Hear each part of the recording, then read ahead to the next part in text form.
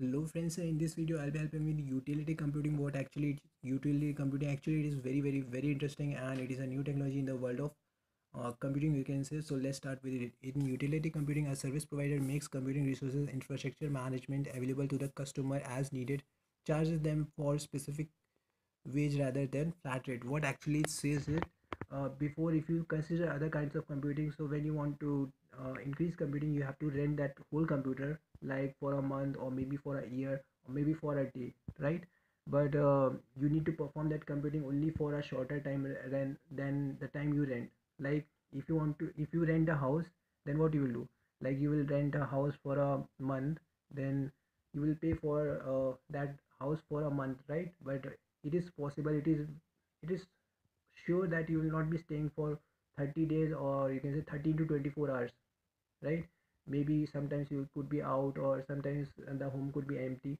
So that time the home or you can say home, your home space or your rented home space will be useless only and your money will be wasted right? Because you will be staying only 25 or 24 days.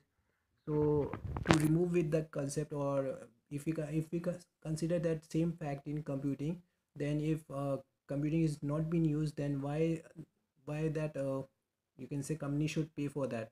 So to remove with that fact in this uh, when the user demands when the customer wants to use when the customer needs to do some kind of computing then they can use and according to that they will pay. Not for the flat rate. Uh, one more example i will give you. When you use internet in your mobile what you do is sometimes you buy monthly plans right? Sometimes it, it is possible you are not likely to use whole of the data allotted to you but uh, if you are in hurry like if you have to search something and you are not having a data plan you only want to search something that's all you want to do. Like you want to search uh, colleges. Like you want to search a particular college name. So it, it it will just take few kbs of data then what you will do? You will you will not go in you can say recharge shop and you will not recharge your mobile for just uh, one google search. You will just directly switch on your gps data or you can say VoLTE data whatever data you will just switch on your internet you will search it and according to that your um, you can say it will deduct from your balance only. So uh, the utility computing is also like that. Uh, when needed when the customer needs to use it then only you can pay it. So this is like when computing is not being done then others can use it. So utility computing is the system resource such as computer storage services as a metered service like uh, sometimes you rent a taxi meter taxi. What it does is like uh, the much you travel the more you pay. Like if you travel for shorter distance then, then you have to pay shorter. Or if you don't travel like if you sit in taxi then the meter shows zero uh, zero right? Uh, then like if you travel to a distance then the meter price will increase and similarly you have to pay only that much the much distance you travel. According to that rate fare only you will pay. So it is like that only so there is no lower initial cost. Why so? Because when you use it then only you have to pay. It is focused on on-demand computing. Like when customer needs to use they can say like i want to use the computing of your computer. Okay just use it. Then according to your uses you will pay. You don't have to rent that for some kinds of days or you can say months.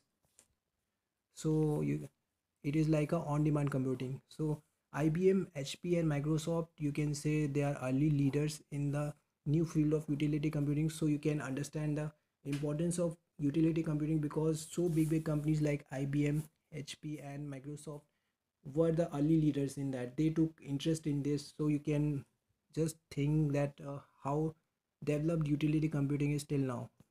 So utility computing can support grid computing. This is the positive point of utility computing which has the characteristics of large computers. So with the help of grid computing you can connect uh, or you can you use the utility computing in a very large you can large you can use utility computing with the help of grid computing in multiple computers right? So whenever there is sudden peak in demand like in a railway ticket example i give you like if there is a railway side so sometimes it happens like uh, the peak demands rises right like if uh, if there is a uh, social media site then in it will be more active. That will be the peak hours. So sudden peak demand then that time you will be needing higher comput computing or you can say you will be needing more computing. So that time you can use it and according to that you will pay. So it's like that.